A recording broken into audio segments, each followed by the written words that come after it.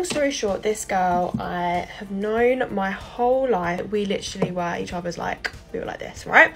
Both just turned 18 and we decided that we want to go on a little holiday without our parents, okay? So we booked to go to a festival.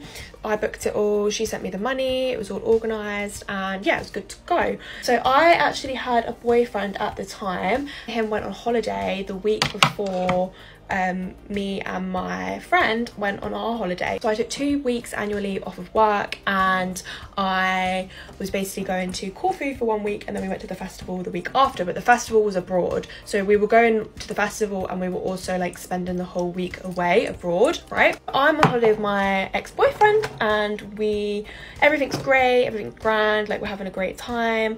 We fly home from our holiday. He's on the plane with me like holding my hand telling me like how much he loves me how much he cares about me like la la la la um he gets to my house and then he starts acting a bit weird so he's like dropping me off from the airport right anyway we get home and he breaks up with me on the doorstep just ends our relationship like tells me that he doesn't want to be with me anymore um that he didn't enjoy the holiday and relationship's done so he called my friend, explained to her what was going on, and I was like, I, I literally don't want to go anymore on holiday. But I still obviously went. I didn't even have time to like clean my clothes and like my holiday clothes because like the plan was that I was to get home at midnight and then I was leaving in that morning and we were going on our holiday. So I'm trying my hardest to put a smile on and have a good time and you know just thinking to myself like she's paid money to come here and I don't want to like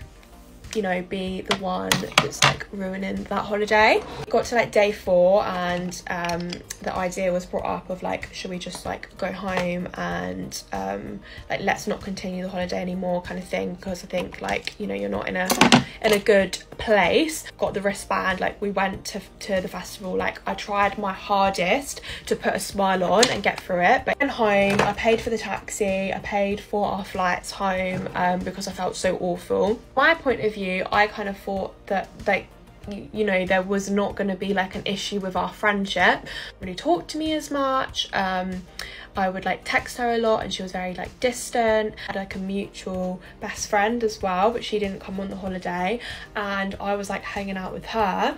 And long story short she told me that my ex-best friend was talking about me in a negative way and she was telling people normal for how upset I was about my breakup and that I owe her a thousand pound for the holiday. She's not once come to me and spoke to me about this so I'm sitting there thinking like okay maybe there's just like something going on and you know you know things are okay but she's just like going through something at the moment and she like doesn't want to talk talk to me as much. In reality like she's going around our local town and like telling everyone all of this story and saying that I owe her money. I was very much like okay like I don't really know how to deal with this because it had been like a year and a half. I basically just sent her the money and I don't know if this was the right thing to do but for me in my head I just felt like really bad. Like we didn't like have like a conversation of like oh we're no longer friends. It just was to the point where like no like we just didn't message each other anymore and like yeah we just got to a point where we were just like no longer friends and it's so sad because like I knew her like my whole life. But now that I'm a little bit older and like time's gone on I definitely do think like you know if I went away with one of my friends and they went through a breakup and like they wanted to go home I would just never think to myself like they owe me the money for the holiday. And I don't know if that's just because I'm quite caring but I just kind of think that that's like normal. Like if your friend's going through something you don't like you kind of would just think what well, if that was me in that position? I would want them to do the same I feel, I do feel really bad for her. Oh my gosh. She literally lost her boyfriend and her best friend in that space of time. Like, it's bad enough going through the breakup, then having that friendship breakup as well. That's awful. Personally, I can see it from both sides, okay? I can see why the friend might be a little bit annoyed, but it's not really her fault that her boyfriend's broken up with her when he did. It's kind of a really rubbish thing for him to do, I think, to break up with her when he did. I just, I don't understand that. Like, surely he was having those feelings before the holiday. Just, why didn't he just break up with her before? Maybe he didn't want to lose the money on the holiday or something. They'd already booked it, and maybe he didn't. He just wanted to go on it. Wanted to be a bit selfish and just go.